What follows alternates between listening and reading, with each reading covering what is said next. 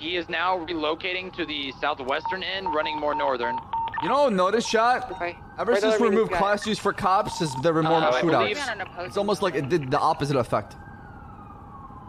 Okay, I'm pushing up to the staircase. these I'm I swear, I've had okay? five Location on shootouts Jeep- in the on Jeep span of like you're two gonna shifts. take over, okay? Since classes got removed. Ten nine, are you guys pushing in right now? Almost okay, like okay, I'm people are almost there. abusing the fact that cops don't have um class Okay, U's they're either know they they're either get away with escorting one of our cops or they're relocating one of their boys. They're now in the most southern west. They're likely pulling him in to loot him.